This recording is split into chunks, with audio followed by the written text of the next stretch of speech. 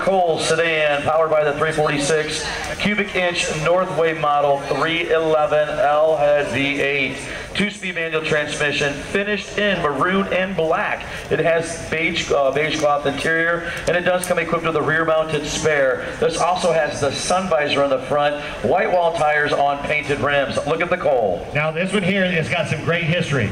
The Cole building that was manufactured down in Indianapolis was sold. This car, unrestored, was in the building.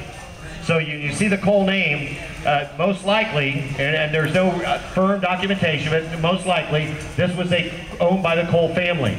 All right?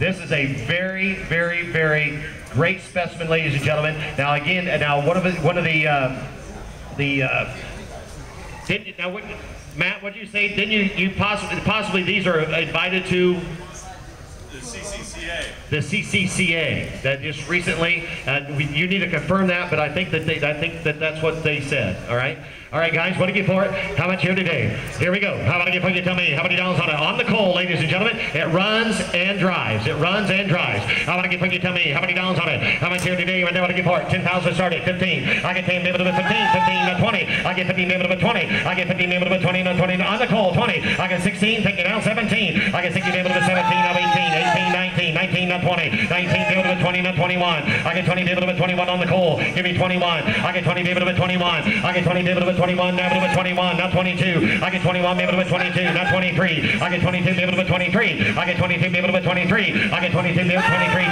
24. The reserves off. 23, 24. I get 22 David with 24. You're buying the Cole. Give me 24. I get 24, not 25. I get 24, 25, not 26. I get 25 David with 26,000. I get 25 David with 26,000. I get 25. Push it out. 26. I'll pull it out. 26. Hook it up and go. 26. I get 25 David with 26. I get 25 David with 26. I get 26 not 27. I get 26 David with 27. There it goes. I get 26 David with 27,000. I get 26 David with 27. On the Cole. 27. Not 28. I get 27 David with 28. I get 28. You got 28 in the back. Not 29. I get 20 David with 29. I get 20 David with 29. 9, 9, 9, now with 29. 29 now 30. I get 29 give David with 30. I get 29 David with 30. Now 30. Now 30. 29 David with 30. I get 29 5. 29 5 30. 29 5 now 30. I get 29 5 now 30. Now 30. Now 30. 29 5 with 30. I get 29 5 with 30. I get 29 5 with 30. I get 29 5 with 30. Now 30. Now 30. Now 30. 29 5 with 30. I get 29 5 with 30. I get 29 5 with 30 once. 30, now 30,000 pie. I get 30,000, able to 30,000 pie. 30,000, able to 30,000 pie. 30,000, able to 30,000 pie. 30,000 pie, 30,000 pie. 30,000, 250, 30,000 pie. 30,000, 250, able to 30,000 pie. 30,000, 250, able to 30,000 pie. 30,000 pie. 30,000, 250, able to 30,000 pie. 30,000, 250, able to 30,000 pie. 30,000, 250, able to 30,000 pie. Going once. 30,000, 250, 30,000 pie. Twice.